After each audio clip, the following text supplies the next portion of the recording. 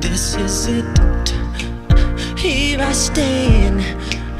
I'm the light of the world. I feel grand. This love